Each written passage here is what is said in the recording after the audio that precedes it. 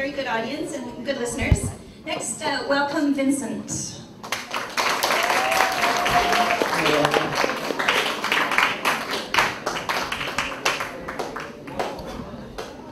Uh, hello, guys. My name is uh, Vincent Tandao, and I'm running for presidency as well.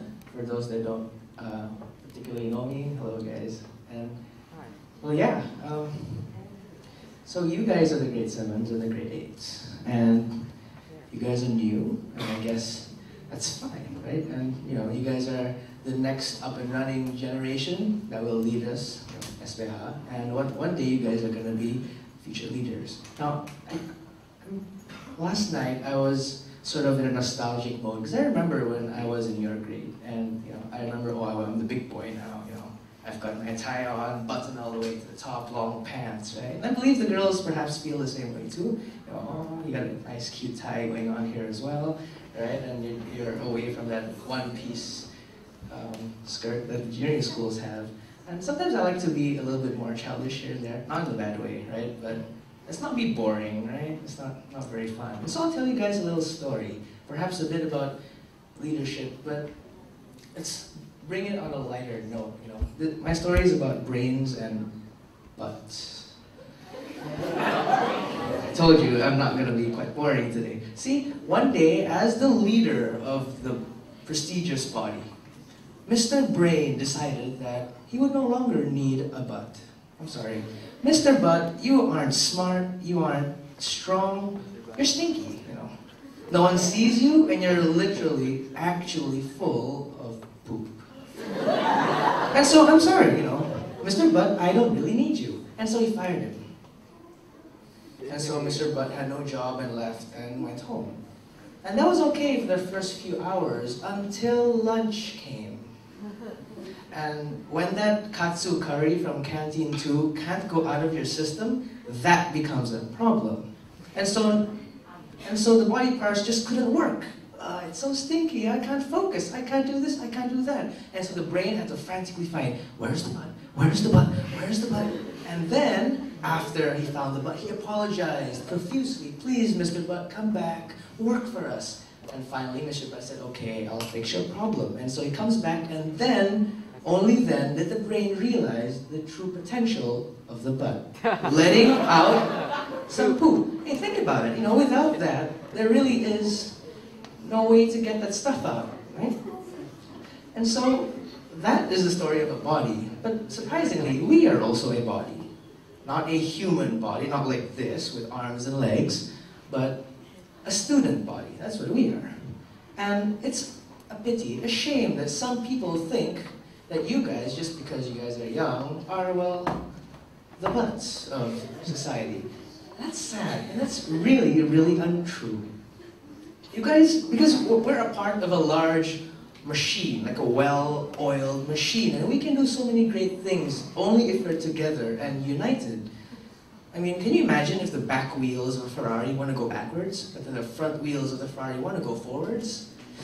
Yeah, you look rather um, you know, not smart, right? It would go nowhere.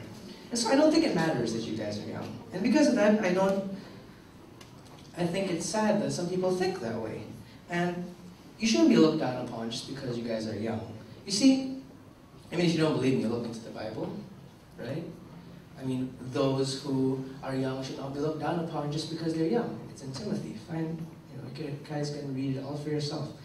And one day you guys will blossom into the junior, uh, the senior school leaders of this school, and perhaps later on in life you'll be the leader of some corporation or some, or lead whatever you guys want. And if you guys don't believe me, it's not an overstatement, because I was once where you guys were. I was this chubby grade seven kid with a big belly, and then one day I sat down in chapel and I saw these uh, grade 12s come up and talk, like the way I'm talking to you guys now. And then and there I realized, wow, I want to be like that girl. And then from, or that guy, or that guy, right? And then I decided to work hard, and I felt inspired. Wow, she, you know, and he spoke so good, and he was really, really entertaining and charismatic. And so I worked hard and became like him, and guess I'm here right now. And I'm telling you that it could work for you guys. See, you guys have a lot of potential. You guys are very diverse in your talents. if only there's some way for us to develop that. Ah, see, that's where I come in. Ah, I know, I know what to do. See, so for right now, I propose uh, you know, three small changes. Just three for right now. And these, I think, are small, but in the end, they're going to be very impactful, I think, because you know, our student council has been great the past year. You know, we've had more events, be better advertising, and behind the scenes, they've got all these fancy new meetings and talking about this, talking about that, meeting with different people. But I believe that there, you know, some holes are missing. I mean, there are some holes, and I'm trying to plug those holes with my next changes. So if you guys are ready, number one would be an easier access to school merchandise. And, you know, have you guys ever had that feeling where you're so excited in soccer carnival and you just want to get out there and you guys want you guys want to play or when it's swimming carnival and you guys oh I want to swim for my team and you guys are so pumped up that you don't have time to find that really cool t-shirt we were looking for or maybe you did but it ran out or maybe you just wanted to stroll out with your friends anyway you don't have time and you can't find it and it's a pity because you can't buy it anytime else other than those school-wide events oh, oh wait what if we make a real Eagle store that's at least more permanent, right? So we could buy it whenever you guys want. You guys have time in lunch, let's go buy some t-shirts. And I think that it's better because having a t-shirt that says Eagles might seem like a small thing. But we all, hopefully, will wear the same thing. And if I have an Eagle shirt and you have an Eagle shirt, that sort of means we're on the same team, right? Can you imagine if a what sport teams do you guys like? If Manchester United wore a Barca t-shirt, that would be, uh, that's, that's, that's funny, you know, because we're supposed to be on the same team. Why are you wearing a different shirt? But if they all wore the same jersey, now wouldn't that mean something? That would unify. And that's what we need. We need to be together. I'm sorry, you guys, if you guys like any other sport teams. Yeah, it's okay, I don't follow that anyway. And once we get all that going, we could even think about having other merchandise such as, well, depending on what you guys want. I'm thinking sport bottles, cool bandanas, uh, long sleeve shirts, whatever you guys really want, we can surely cater. And now the second change is that we need to appreciate your talents more. See, again, you guys are a very diverse pool of people. You guys know this, again, you guys know that, you guys love this, and you guys love that. And sometimes the student council is just, well, for lack of a better word, blind to it because we just don't know. And so I encourage you guys to form your own clubs and have fun with it. And it's okay if you, all you guys like to play is checkers or something like that. You guys come together. I mean, I like chess, and I go to chess club. That sounds nerdy, but but it's okay. You know, whatever you guys like, programming, filming, you guys come together. And when you do, student council will surely realize, oh yeah, you know, there's an interest for that, and we want to celebrate that, and we want to encourage you guys. And so surely, um, I believe that student councilors should come to your club and and support you guys in any way we see fit. If you guys want to hold a, a checkers event somewhere, sure, I mean, we can organize that if you guys like it. Another thing would be for those that have joined student council events, like, you know, we've had Chomp, we've had uh, Battle of the Bands, we have Step Up and, and those kind of events. If you guys happen to participate and we see you doing a great effort, or if you guys have won it, you know, we'd like to put yourself, I mean, we'd like to put you in a Hall of Fame. And that has hardly happened out there in, junior, in senior school, but it should be more uh, enthusiastically encouraged. We'd like to say thank you to you. Thank you for joining our event. Right? We love you, you know, and we want to show that. Sometimes people just don't know that. And so we appreciate the time that you spend out of your own lunchtime to our events. Right? And so we just want to say thank you.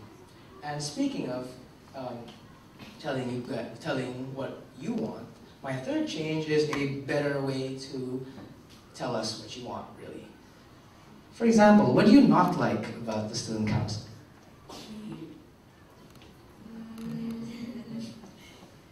It's okay, I know, it's difficult, right? Sometimes you just don't want to do it, and it's fine, it's completely fine, you know. I can't just expect you guys to give me something when I just shove a mic up your of your throat. I'll, I'll get to you later, okay? You can ask me a question soon. But that's the whole point. I like to make it easier for you guys. You know, I don't want to just shove mics at you. Let's say we find a suitable social media everyone uses. Then you can just type up what you like. Hey, I like this event. Thank you very much. Or can we do this? Or I don't like this. Do you mind changing it, etc., etc. Or if you guys are more into the artsy artsy kind of things, we could put up a uh, we could put up a whole board for you guys to write on and sticky notes, or perhaps a fancy suggestion box. If you guys would drop in something there nice for us, you know, a nice little note, that would be really fine. And the thing is, it would, it would be a lot different than just me shoving up this mic to, you know, whoever's face, right? And so, yeah, I'm gonna, I'm spending way too much time, so I'll conclude that you guys are still grade seven, you guys are grade eight. You, guys know that, right? And yeah, okay, you guys are super smart. Um, and that just means that you guys have a long way to go. And that's fine, I've been there. I mean, all these guys, I've been there. And I want to serve you guys because I've been here since K1. That's a long time. That's 13 years here in this brick enclosed school. And I'd like a way, you know, to say thank you. Write a big thank you note and send it and mail it to Espero kind of thing. And I haven't really found a good way to do it. Nothing that satisfies my craving to give back to the school. And I think this is my chance. And I'll tell you guys another secret. See, you guys are actually the bosses, and we're actually the leaders. Look, you guys are the students, and we're the student council. You know, no student. What does that make us student council? We're just a, uh, we're just a council. What do you do? I don't know. We won't have any purpose. And so, without you guys, we don't really amount to much. And so I'd like you guys to do me a little favor. See when tomorrow comes? You know, you guys might want to circle my face. and, you know, put me in the box, okay? And you know, I'll make sure that you guys feel loved. Right? And if you vote for me, we'll make sure that whatever you guys want, to the best of my ability, alright guys? Don't right? I'll, I'll make it happen. Don't don't don't ask for a paintball war across the school. That's not gonna happen. I'm sorry. Putting it out there, right? But vote for me and we'll see that to the best of my ability, we'll make what you guys want happen. Because again, the next year will also be your year. It's yours, right? And so I'd like to end by saying, hey, my name is Jonathan Vincent Tandao, and I am running for presidency. Uh, ciao guys, thank you.